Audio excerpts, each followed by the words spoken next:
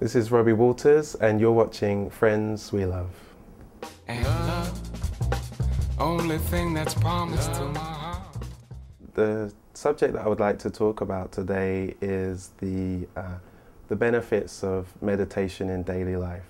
I think that it's um, a subject that not many people um, talk about or um, not that many people practice and would like to practice and I would just like to briefly just share with you my experience, what's happened and how it benefits me.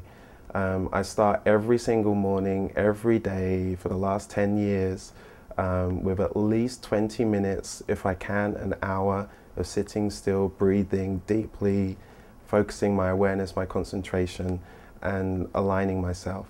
What happens is energetically, I'm um, aligning the energetic fields in my body, and I notice if I skip the morning and don't do it, I notice straight away um, things are different. My day's different, everything's different.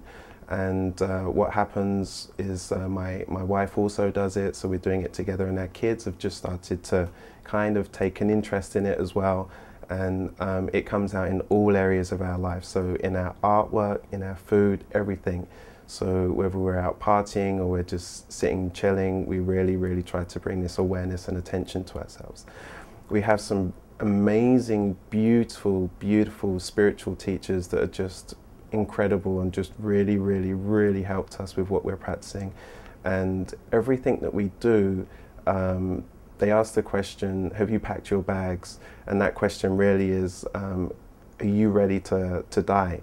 And it might seem a dark question at first, but really it's uh, the, the basis is have you done everything you're here to do and are you doing it? Life's pretty urgent, so you do the things that you're really, really here to do. So um, if, if anyone's watching, listening, my, my message really is to inspire to whatever it is you want to be doing, make sure you're doing it right now because the time is now.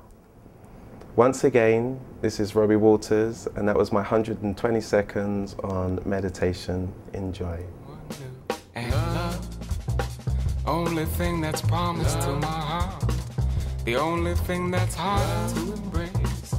Only thing that makes life worth living. Seems love is here to stay. Seems love, love is here to stay. Once again, this you've been watching Robi Walters, and you've. Sorry, can I just Yeah, say it yeah. again? I'm so low. Once Hold on, hold on, again, once again. I'm Robi.